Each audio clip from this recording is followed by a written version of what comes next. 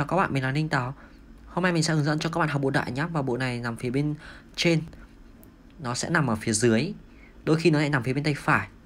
Đó. Thì uh, các bạn chú ý giúp mình nhá Khi nằm phía bên trên thì nó sẽ bao gồm một nét phẩy và nét mark Chúng ta sẽ biết nó biết nó tạo cái khoảng trống Tạo cái khoảng khoang phía bên trong nó rộng ra một chút giúp mình nhá.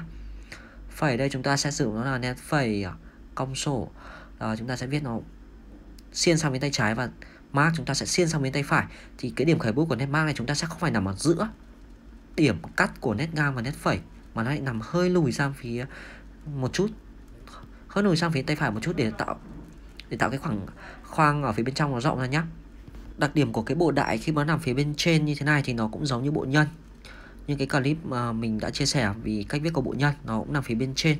Chúng ta sẽ viết phẩy thấp và mark cao lên trên như này. Đấy, nó cao lên khoảng một nửa hình vòng tròn đấy, một đường hình vòng tròn các bạn cố gắng là chú ý cho mình nha. Vì nếu như viết thằng phẩy và thằng mác này nó bằng nhau hay chăng nữa thì nó rất dễ chạm với cái bộ phía bên dưới.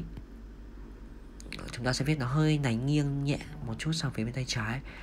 Thì uh, theo kết cấu của cổ nhân đã tạo ra thì nhìn nét chữ nó sẽ cân đối và gọn gàng hơn. Tiếp theo thì mình có nhiều dụng cụ để chữ Hán thì các bạn có thể liên hệ với mình nhá và mình sẽ tặng miễn phí cho các bạn. Tổng uh, tổng cái tài liệu mà các bạn nhận được sẽ là khoảng 260 cái clip và mình sẽ gửi cho các bạn qua email để uh, lưu lại dễ hơn. Hoặc các bạn nếu có thể nhớ thì mình có thể là gửi cho các bạn qua Zalo mà các bạn chỉ cần tải về thôi. Và các bạn tải về các bạn luyện. Và trong quá trình luyện chữ Hán mà các bạn thắc mắc thì các bạn có thể hỏi mình nhé